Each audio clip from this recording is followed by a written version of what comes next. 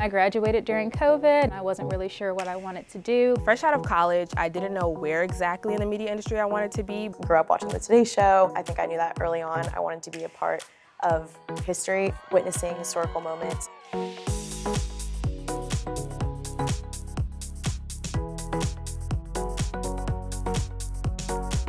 Today we're talking about entry-level jobs in news. College probably just prepared me to keep me on my toes, really. And I mean, obviously, you know, the basic media information and foundation that you need to succeed in this industry. My parents grew up in Mexico, so I was the first person to go to college in my family in the US. I chose to apply for this job because after I read the job description and realized that there was a chance that millions of people nationwide could see visuals that I created myself, that completely sold me. And it was a big transition going from the South to New York City in the middle of January. It was probably the coldest I've ever been in my entire life, but I loved every second of it. The PAGE program is a rotational program that lasts for about a year and in your cohort there is guaranteed to probably be about 25 to 30 of you. In this current position that I'm in now, I'm working with the All In With Chris Hayes team over at MSNBC. The desk assistant program is an entry-level program that allows a lot of typically post-grad students to enter the news industry and kind of get their foot in the door.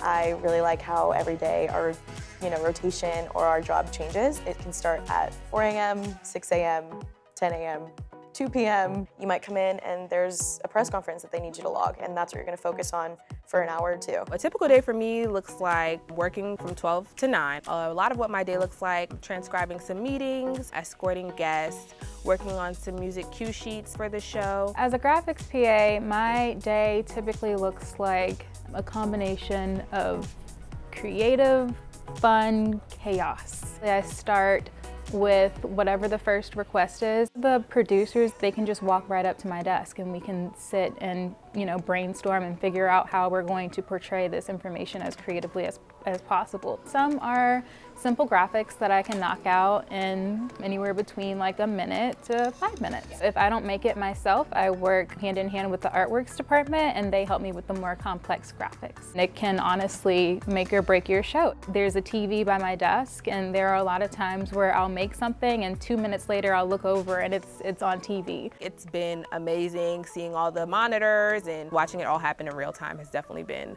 most exciting for me. The production value and the journalism is the top quality and it kind of inspires me to aspire to that level and continue to work hard and make sure that what I do hopefully matches that one day. NBC. Be intentional with making the program your own. This is an experience that you probably won't have ever again. You'll meet pages and people who stayed with the company that were former pages on your team. It is just very, very important to be willing to learn, to be open-minded, and to always remember the people who have kind of helped you out and just keep in touch. A lot of people in this building were also desk assistants. Getting to know that everyone started kind of in a similar position and moves on to different positions in their own way is inspiring because I know that one day maybe I can do the same.